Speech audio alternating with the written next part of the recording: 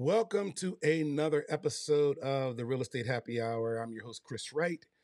Um, today, I'm really excited. Um, every time I get a new person to interview, I get excited.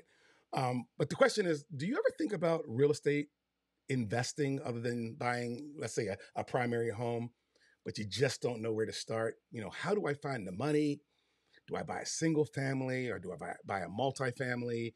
You know, do I buy a fixer upper cheap or buy something moving ready? You know, do I buy a multifamily with tenants or something empty?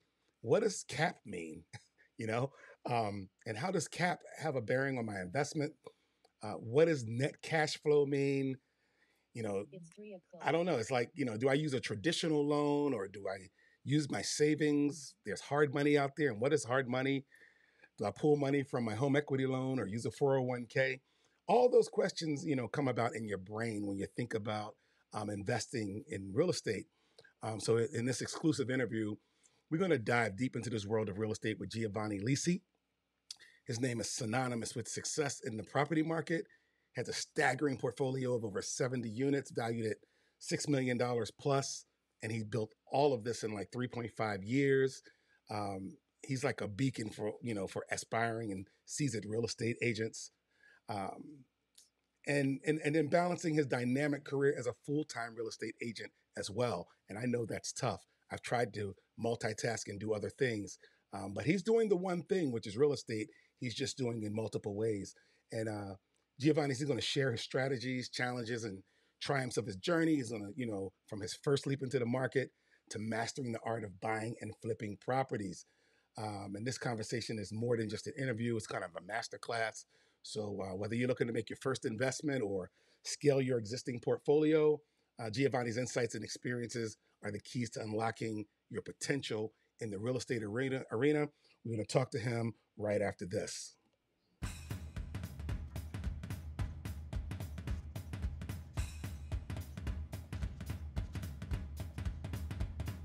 This is the Real Estate Happy Hour, and I'm your host, Chris Wright. It's a fun place where we talk real estate pop culture, and what's trending. Hey, I might even give you some good advice. So grab yourself a drink, sit back, relax, and take a listen. Unless you're driving, of course. I'll see you guys on the other side. All right, this show is sponsored by my team today, the Chris Wright team, Oxford Property Group. Uh, Brenda and I, we started a team a, a couple months ago, and we've just been locked and loaded, excited. We're ready to help you buy and sell.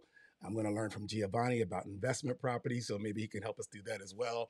But um, yeah, really looking forward to talking to him. And um, yeah, let's kick, kick this uh, interview off.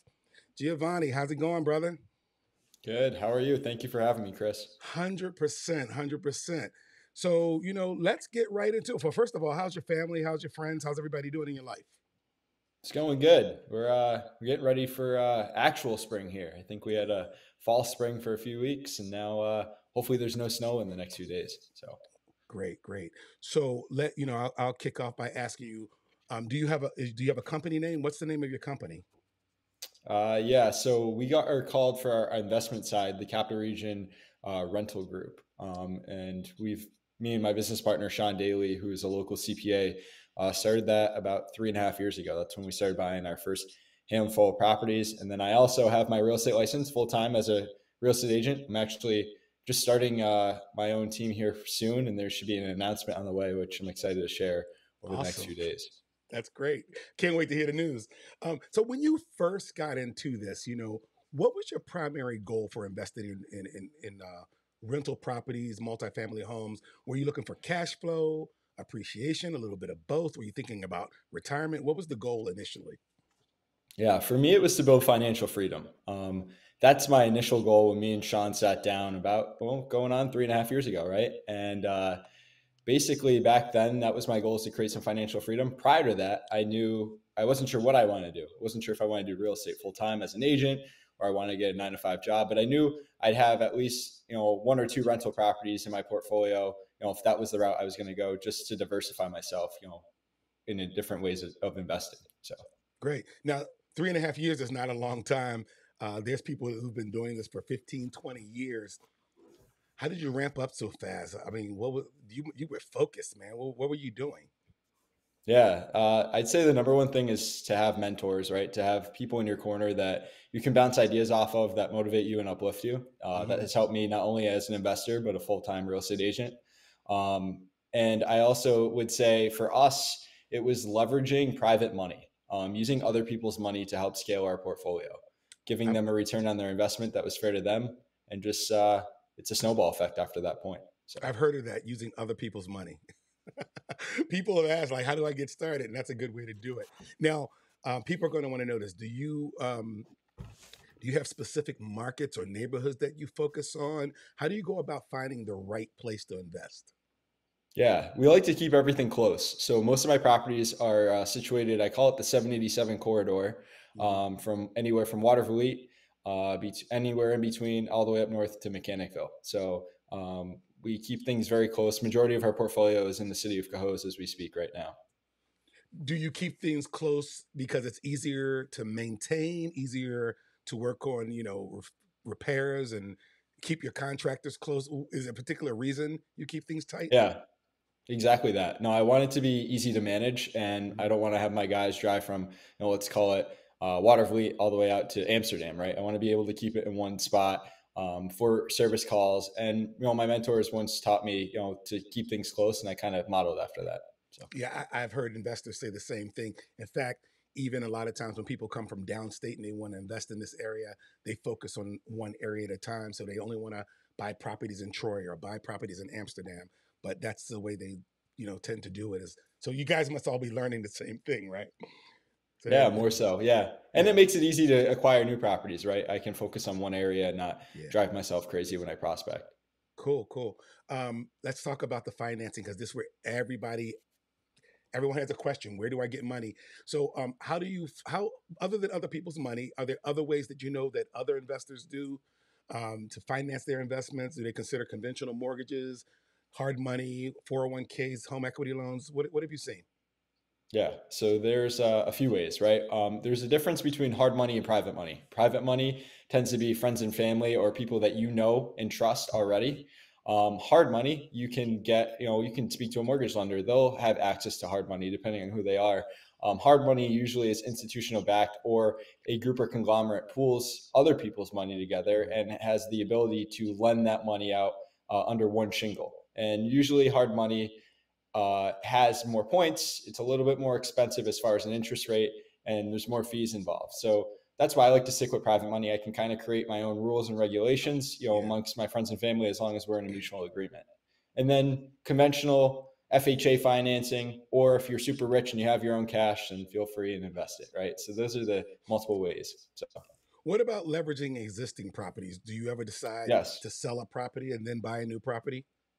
Yeah, and we have not done that yet in our portfolio. We've kept everything pretty much that we've purchased. Um, but with that being said, a lot of people will, you know, do a home equity line of credit, right, to get their start. Whether they use that towards a down payment on their next investment property, mm-hmm. or um, they may have a property that's been paid off free and clear, right, and they can do it that way. Uh, another way would just be, uh, yeah, you know, you could do a 1031 exchange. You know, there's very, very uh, multiple facets to acquire real estate. Uh, property management. Um, do you plan to manage? Do you pro- manage the properties yourself, or do you have a property management company that you hire? Uh, so we have our own property management company, and okay. that is something that manages our entire portfolio. Uh, and we have a few people that are subcontractors that work for us under that property management company that helps streamline things like handyman, contractors, leasing agents. Um, so it makes it easy. Not only do we manage our own portfolio, but I'll take on a select few of my own personal clients who are looking to uh, have their portfolio managed as long as they're looking to grow with me and uh, grow their portfolio as well. So how do you um, how do you measure risk tolerance, especially when you have so many units? How do you realize that okay, this property was a risk, we probably shouldn't have bought that? And how do you kind of like minimize that risk? What what type of things have you? Because I'm sure you've learned a lot of lessons. So talk to me about what's higher risk and what's lower risk, especially for new investors. Yeah, for us, when we go into a deal, we want to have three outs. I want to be able to get out of that deal in three different ways. Okay. So when I look for a property, I look for properties that need value add stuff that I mm-hmm. can add value to, whether it's increase the rents by, um, you know, doing updates or you know, boosting up the overall curb appeal of the property in order to add value, right? And basically, for us, it's the first out would be all right, we can buy it and we bought it right, so we can flip it tomorrow and make a profit on it just because we bought it right. Mm-hmm. Or we can go ahead and add that value by doing those repairs, renovations, and get those rents up and then flip the property. Or we ultimately, and our ultimate goal is to buy and hold it and keep it and refinance out and keep it in our portfolio. Um, so that's kind of how we measure things. As far as a risk tolerance standpoint, I want to make sure that I can pull 100% of our cash out. That's my number one rule. And the number two thing is to make sure that it does actually cash flow. So it's worth getting out of bed over and right. being able to make sure that that cash flow makes sense. Sounds like a plan. Now you, I, I saw you on Facebook. You were live from a group. Is there like a, a group that, uh, you know, gets together and mix and talk about this type of thing? Was it like a, a class or something? Yeah, no, uh, we have a local investor meetup. It's a national RIA, Real Estate Investors Association. Mm-hmm. It's called the Capital Region Real Estate Investors Association, and it's every third Tuesday up in Clifton Park. We have a website as well, and I'm one of the co-owners of that organization. We have about 150 members that are subscribed to us, and about I'd say on average 100 people show up per month. What's it cost to join that? Uh, it's right around 299 for the year for, for an year, individual okay. membership. Yep. And do you have guest speakers and people come like that, or how's that work? Yeah, each each month we have a guest speaker, uh, whether it's a local real estate investor who has success like myself, or um, next month we are doing a panel on Airbnb actually. So oh. we are going to be talking about Airbnb. I actually think you did a uh, panel more recently on here as well. So I did. We were talking about some of the uh, laws and bylaws and um, policies and procedures of Saratoga Springs specifically but it does affect other places throughout the country. Um, I think the good thing about that is you as you have these short-term rental groups and classes um, that they learn about the different zones and restrictions in different municipalities. So that's going to be key coming up because uh, some cities are concerned that Airbnb, or I should say, short-term rentals, are growing, and more of them than they ever anticipated are coming. So they have, they have to figure right. out how to regulate that. Um, yep do you prefer to buy, you know, renovations and upgrades or turnkey properties? Uh, renovations and upgrades. It's my name of the game. It works with our business model, and we use what is called the BRRRR method: uh, buy, renovate, rent, refinance, and repeat. I like that. What's it called again? The BRRRR method. B with four R's. Okay, Burr method, like cold, right? Exactly. All right, cool. Um, so I have a book. I have two books. One's about flipping and one's about holding. Um, what do you prefer, to hold or to um, flip? Uh, right now, I'm doing a little bit of both. We uh, plan to hold, you know, especially our our uh, investment properties, um, but we've been averaging right around one to two flips a month as we speak. Okay. Um, and when you are holding, is there a certain profile? We know we have to be careful with uh, fair housing, but are there certain profiles that are less risky or more risky. Like far as you know, people in college area for student rentals, then there's area for family rentals, and their professional rentals, things like that. Is, is there a preference from a risk standpoint? Uh, for me overall, no. I think what's awesome about investing in real estate, there's so many options, so many mm-hmm. variables that someone can get themselves into, yeah. and none of them are wrong as long as you're making money, right? Mm-hmm. Um, so for us, you know, we we take everything into consideration. Okay how deep do you get into you know legal considerations? Like you know the legal aspects of renting properties such as leases tenant rights local regulations because it changes so much. And if you're not up up to you know date on the lo- most local regulations you can find yourself in a pickle. Do you stay up to date with that or do you have a lawyer or an attorney keep you abreast of that stuff? No we definitely keep uh, an eye on it ourselves and do our research but at the same time on my lease standpoint i'll update it every six months with our real estate attorney. Okay. All right. Do you have a group of attorneys or just specific ones you work with? Uh, just specific ones I work with. Okay. What about um, people worry about this? Are the tax implications of investments properties? Do you know? Do you plan to consult with tax professionals on a regular basis, quarterly basis? How often do you sit with tax professionals? Every hour of the day because my business partner is a CPA. that's that's a great partner to have. That's great. It awesome. Is. Um, you talked about exit strategy. Um, tell me a little, and I asked you this question a different way, but tell me about a transition when you decide to sell what was once a rental. How do you make that decision?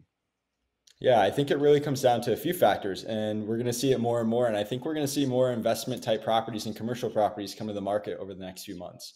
So, a lot of commercial loans have a five year, 10 year balloon period, some sort of balloon with their commercial lender that either they need to refinance out or they need to go ahead and just reassess the mortgage and the loan on it.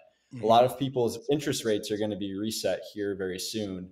And I think we're going to see some investors realize that either the cash flow wasn't what they expected as it was three, four, five years ago. Right. Um, and they're going to make a decision on whether they're going to sell or not. Um, so basically, um, you know, that is, a, you know, one factor that we have to analyze even on our growing portfolio. There might be a time where in the near future, some of the properties that we acquired three and a half years ago may make sense to cash out now while the market's up, right? And we can pull that equity out and invest that maybe into a bigger property or a bigger piece of bigger piece of real estate. My game plan overall for me and my business partner is to grow it again for, you know, we want to hit 10 years as investors, you know, growing our portfolio. Um, so by the time I'm 35, let's say 32, 35 in that range, um, then we'll look to either refinance out using that equity and buying a larger apartment complex, or we may sell off our portfolio and do exactly that, buy that larger apartment complex or do like more ground up new construction on the investment space. So what what are my what should my cash flow expectations be for rental properties? Like how much net income should I aim to generate monthly or annually? How, what's that look like? You definitely should be net positive, that's for sure. Um, a lot of people, some people don't realize that. Some people maybe even buy as far as an appreciation play. Like Saratoga is a tough market to be net positive in cash flow, but mm-hmm. um, because the property values are so expensive, and you know, for a two family, you're spending seven hundred thousand dollars to get back the same amount of rent that I would in Watervliet or Cohoes. Granted, maybe you get more in rent, but still, you know, the the expenses don't outweigh the uh, or the expenses outweigh the return. But with that being said, I would say for us in the markets that we invest in, Watervliet and Cohoes, mm-hmm. um, we are averaging, you know, right around at minimum uh, $500 a month in positive net cash flow after all expenses, and anywhere up to you know $2,000 a month. It really depends on the property and and uh, the expenses on it. So a lot of first time investors, they uh, they juggle or struggle with should I occupy the property, knowing that if you buy, let's say, a two family, and you rent one unit out and I live in the other unit, that's that could be twelve to fifteen hundred dollars, maybe more of income that you could be getting. What do, what do you what do you advise people do? Do you advise them to occupy the property or or, or create a situation where they don't have to? Yeah, for as investor or someone looking to start getting into the investment space, mm-hmm. I highly recommend owner occupying an investment property first. Okay. First off, it tells you if you like being a landlord because being a landlord is not for everyone. Um, it also it helps, especially in today's day and age, with how interest rates are as we speak. It helps with going ahead and being able to offset your housing expense. And you know, it, you could basically instead of paying someone else rent, why don't you pay it towards a mortgage where you're building that equity up? And there's no better way of home ownership and creating some wealth that way. And I personally did that I my my I got into it a little bit later than most. I had some mentors behind me, so I was able to get into that BRRRR method right away. Mm-hmm. I probably should have done an owner occupied investment property, but my story all worked itself out. But I ended up buying owner occupied three family in Cohoes uh, about a year and a half ago, almost two years ago now. Right. And that property has been tremendous. I mean, today, you know, all my tenants are paid in full on that property. It's awesome. I'm seeing the rent money come in, and now I can use it towards my mortgage on my single family house, right, and offset those costs. And that property in itself, I've been able to build up, you know, a lot of equity on it. I've been able to. I was living there for free while also pocketing thirteen hundred dollars a month. So it was an awesome property. So I'm sure you run into people, and you after talking to them for five minutes, you think you don't really know what you're doing, do you? it has to happen because I was wondering about like um, you know, conducting market analysis, you know, for potential rental properties. And some people just don't know how to crunch the numbers to know if they're making a good investment or not. Like, do you have specific criteria to look for for for a newcomer?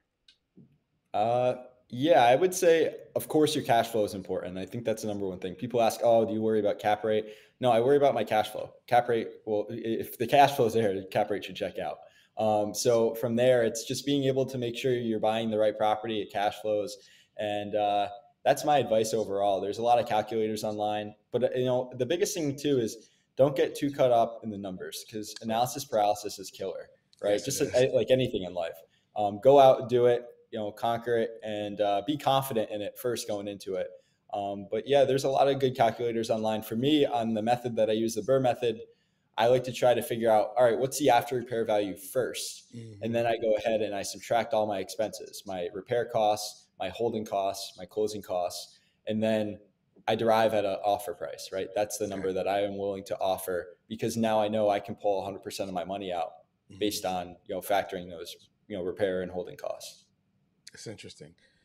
So the big thing is um, maintenance. How do you uh, handle maintenance and repairs on your current rental properties? Do you have a budget set aside for unexpected expenses? How do yeah, you do that? so we we save about fifteen percent of our rents uh, or our incoming rent each month in a separate savings account, mm-hmm. and we utilize that towards the repairs, vacancy, and uh, capital expenditures that need to be addressed. Okay. Um, and then for us, we have about six guys that are independent contractors that uh, handle our service calls and our, our handyman type work. Okay. What about the specialists like uh, HVAC, plumbers, electricians? Do you have a group of those people that you work with on a regular basis? Yeah, they're they're one of the six. They're one of the six. Okay, great. Awesome. So, what about the um, occupancy rates? I heard about that. What are your expectations for occupancy? How do you measure that throughout the year?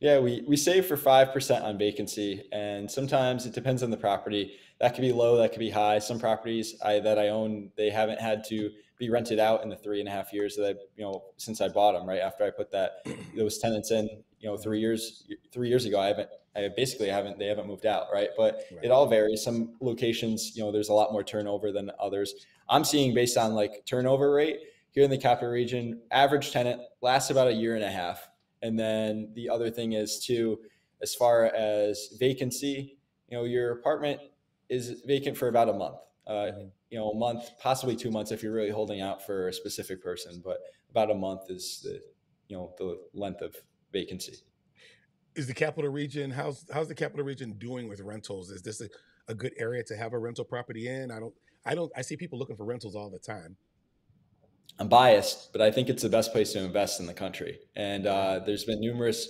numerous people who have been on podcasts one of which is the CEO of Bigger Pockets. His name's Scott Trench. Mm-hmm. Um, I was had the fortunate opportunity to meet him at a conference back in October. And my good friends Josh and Ali Lupo, some of you who are watching this may know them as the Fi couple here out of Troy. Mm-hmm. Um, they're very popular on social media.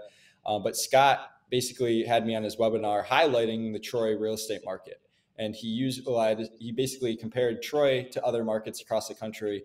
And what's awesome about upstate New York is things offer great cash flow. They're mm-hmm. affordable to purchase, and you know the appreciation is still there. Um, so that has been the awesome piece of the puzzle. So, and I'd say from a rental standpoint, people are always looking for housing here in the area to rent. So I've ha- never had any issues as far as vacancies or uh, anything along those lines. You've heard it here first, people.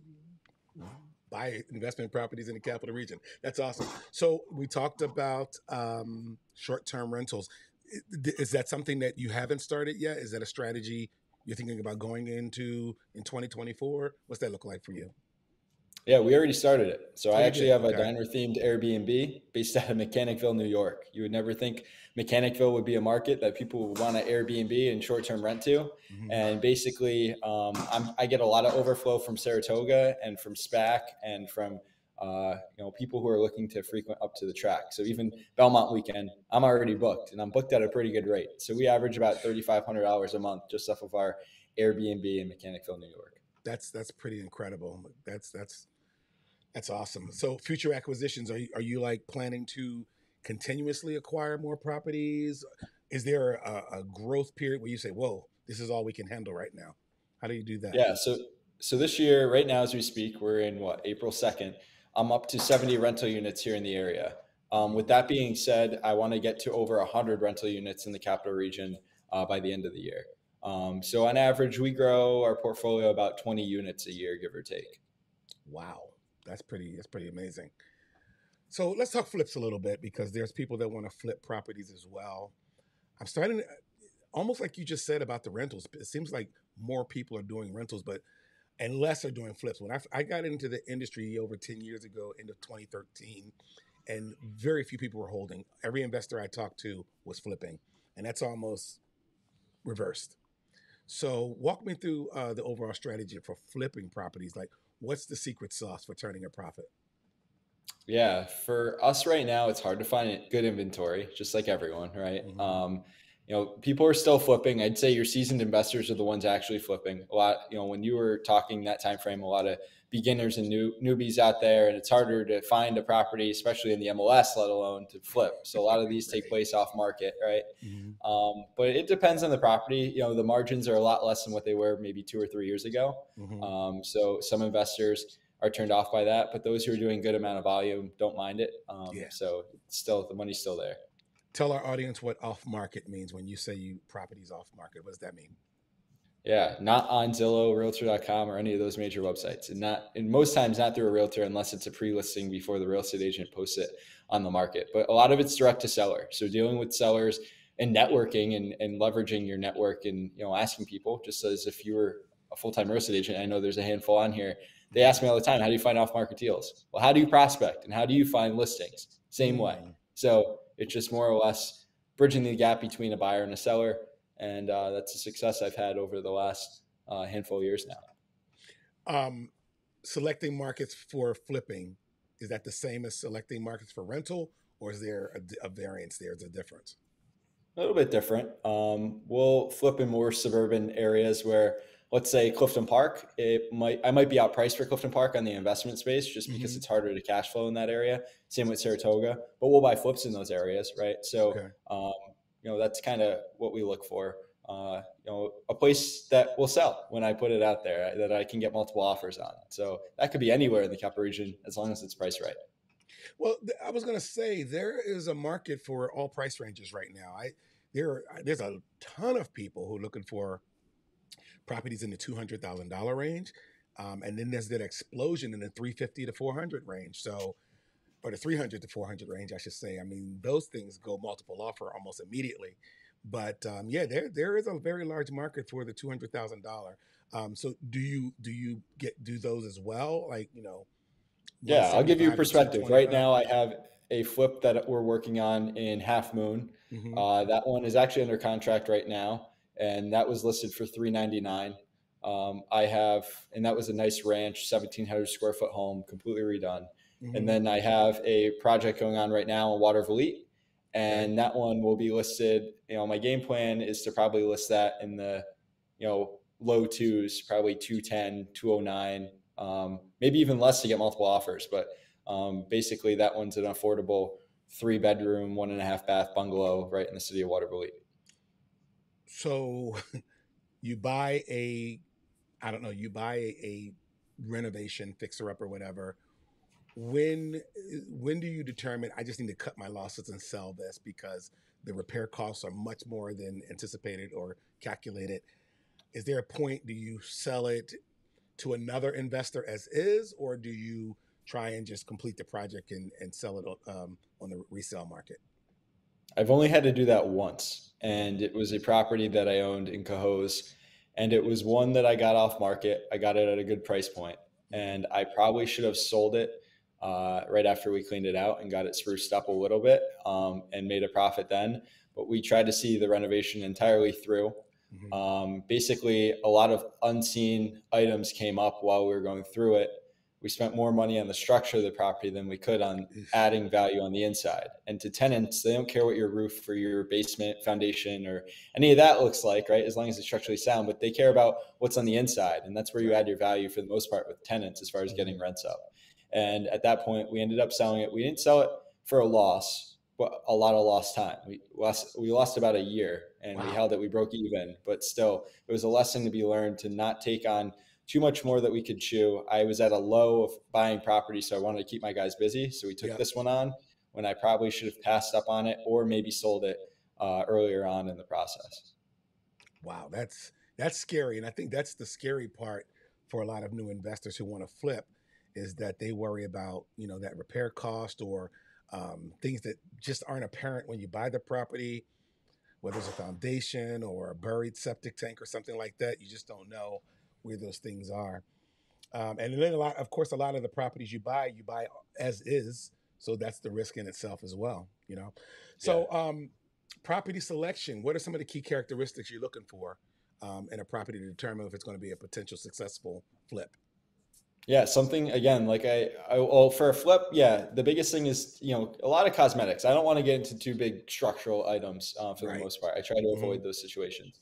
So a lot of it's like an outdated home, right? Uh, let's say grandma or grandpa ended up getting themselves into a nursing home, and the whole entire house uh, needs to get out of the 80s. You know, we'll mm-hmm. bring it out of the 80s and modernize it, and mm-hmm. uh, get rid of the pink and blue bathrooms and, yeah. and put in something more modern. Right. That yeah, that's sometimes I think some people go into some of these old homes like the you know from the 70s 60s and they don't know they don't i don't think they figure out how much it's going to take to, to put that into modern times. So that could that could be quite an expense. Is that correct? It is. And, and some people they don't think about uh, they also think about maybe having to gut the whole entire place. And a lot of times you might be able to salvage what's there. And that's when you really dig deep and you start gutting walls and you have to sheetrock the entire house and yada yada. Um, it can add up. And i've seen a few investors kind of go belly up by doing that. They didn't take my advice and say hey look keep that wall keep this just paint do the cosmetics and they went ahead and did the gut renovation and it cost them a lot of time and money so you're you're a realtor, so you obviously will list your own flips. But let's say um, for an, uh, a flipper who does not have a real estate license, and he want he he has a realtor that works with him to list his properties. How do how do they determine the percentage of the purchase that they're going to aim for to make a profit and include a broker's fee in that? I guess it comes down to your bottom line, right? You're figuring that out with you know your real estate agent, what's it's worth, and then you know backtrack from there and make sure that you can afford those services. A lot of times, and I even have been doing it recently. A realtor sells me an off-market deal. Sometimes I'll even give it back to that realtor, as crazy as that sounds. But in this market, it's tough to find good inventory. So whatever it takes. So if you're a real estate agent in the Capital Region, hearing this podcast, and you have maybe an upcoming listing that you're thinking about selling, and it's not going to maybe sit well on the market and it needs that right investor, give me a call because you'll be able to be uh, rewarded tenfold. So sweet. I got you. um, what's your, what's the average timeline or what's the timeline you should be targeting from purchase to sell on a flip? For me right now, I've been hitting the stride of three months people are saying, "Wow, that's crazy. Uh, that should have took longer than that." But my guys have this systematized. I give a lot of credit to the guys that work with me. Mm-hmm. Um, mm-hmm. We've been doing this quite a bit now, and we have a good system in place. We know the materials that we're going to buy. We know what needs to be done, and they hit their stride. Um, most people, it's hard to find good contractors. Luckily, I have an awesome crew. Um, and with that being said, average person probably about six months. Oh, okay, all right. And, and and how do you keep those projects on track? How do you avoid delays? So the biggest thing is, is, eh, the hardest part is material delays. You never know what material. Right now, I'm waiting for a five switch uh, for basically a light cover. Uh, it's for five switches. They don't sell those at Home Depot or Lowe's, so we had to order those. Waiting at a garage. So those can be your your bigger hiccups in, in time frame. Um, okay. So it's unpredictable sometimes, but being able to prepare and order ahead that's important. All right, so here's a, here's a trick question. So, which renovations add the most value to a house? Like, how do you focus on like you know what cosmetic or structural changes you're going to make to add the kitchens most value to the house? Huh? Kitchen, kitchens and bathrooms. Kitchens those are your biggest, biggest, biggest spots that you should spend most of your money and make those uh, make that the wow factor. Um, mm-hmm. And a lot of it has to do with maybe first appearance um, and you know that could be front door uh, common hallway you know if it's a rental but uh, front door sprucing things up so it's cosmetically appealing to the eye when you first get in i know you talked about private money. Talk, do, do, you know a lot about the hard money process? I do. Okay T- tell us how that works. What's the hard money process so basically, you would connect yourself with a hard money lender, and there's a handful. You Google them, they'll come up. There's even one called Albany Hard Money Lending Group. I'm giving them a plug, I guess, right now for free. There you go. Um, but basically, there's a handful that you can, you know, where you can go to your, your local mortgage lender. They may have access to that hard money. And basically, the process starts where they're underwriting you as if you're a borrower on a mortgage, right? They're looking at your, you know, your financials, making sure you're accredited, that you're not going to default And a lot of times, depending on the project, they'll uh, require you know percentage down, whether it's towards the actual initial purchase or having money in reserves for repairs um, that may come up that you plan on doing. Okay. Um, so it does require some money down. Where my private money, sometimes it does not. Most times it does not. And then the other case is you also have points and fees that you have to pay. And then there's also most likely an appraisal process where on that purchase you have to have it appraised um, and they'll walk through it. You'll make a list of repairs that you plan on doing, and then the appraiser will value it at its present state, and then it will come up with an after repair value as well based on the repairs that you listed off. Is this a New York State licensed appraiser, or is this an appraiser within the investment group? I've seen it where it's just been a real estate agent. Uh, it's been someone who just works in the investment group. It's been a variety of things. Okay but it doesn't have to be a licensed state appraiser, right? Don't quote me on that, but I, have seen a few situations where it was not. Hey, it's hard money. That's why they call it hard money. right. They kind of create their own rules sometimes. Right. Um, That's what I was yeah. saying. Okay. Good. Yeah. Um, I know you told me you ran into some structural problems. Is that the biggest challenge you faced in flipping properties, coming into unforeseen problems? like that? Uh, yeah, I would say so. Yep. Mm-hmm. I try to avoid them at all costs, but sometimes they come up and you have to address them uh, as they come up. What are some of the market trends in flipping right now? Things you see that are trending. It's starting yeah, to happen people, more and more, huh? People like the color beige. Uh, that's been a common common color. It always has been. It's a neutral color that we went through probably 2016 to 2021, the gray era right and then the that kind of got that kind of got kicked out and uh, if you're still using gray in your flips you are uh, you you're need behind. to reevaluate things yeah so you're a little bit um, behind right definitely you, having those neutral colors you would be about two years behind with the gray but you know there's still still some people that like gray because that's what's in all the magazines the home magazines they still see gray but you see you're starting yeah. to see more beige and different uh, tones of beige right exactly yeah yeah what about uh, kitchen kitchen countertops and cabinets? What trends do you see there? See there? People like using quartz. It's something that we use. It's easy to clean for the most okay. part. Um, the other thing was, uh, you know, still basic white cabinets are common with maybe a different you know color handle to make it pop, right? Okay. Um, I've also seen some people do you know an offset uh, color, like maybe a you know lighter green, or you know some people can still pull the the gray cabinets as long as there's a nice neutral background and backdrop. So new cabinets or refinishing old cabinets? It depends on the flip. It depends on what you're trying to get out of it, right? Mm-hmm. Um, and it depends on the market. Most times you're putting new cabinets in on our flips, um, but you know, depending if there's stuff that can be salvaged and it still won't affect the price point, we can still get you know a good amount of interest from potential buyers. We'll take that into consideration if we can you know save some money. Great, great. Well, let me, let me ask you a question. Is there any question that you'd like to cover with us? I know you do a lot of interviews. I've seen you on the stage at the summit. Why don't you share something with us that I might not have asked? Anything you can think of? Oh, that's a that's a good question. I, I think back to what I said originally. If you're and people all the time ask me, all right, well, how did you become so successful? How can you get your start? And it's having people behind you to support you, whether that's a mentor or someone who's already been doing it. Um, having someone with past experience that you can bounce ideas off of, whether you want to become a full time real estate agent and scale your business as a realtor, or if you want to go ahead and become an investor, it's the same thing. Being able to have that mentorship, that guidance, whether you pay for it, whether it's free, however you do it, it's important. And how do people uh, get in touch with you? What's the best way to reach you? Uh, usually through social media or call me. I'm 25 and most people say, "Oh, you must just like social media and text message," but I'm old school. I'm always driving around. If I'm not driving around, I'm not making money. So, I can't always text while I drive, right? So, I try to mm-hmm. pick up the phone. A lot of times it's a voice conversation. So, my phone number is uh, readily available. If you Google my name, feel free to give me a call or reach out to me on social media.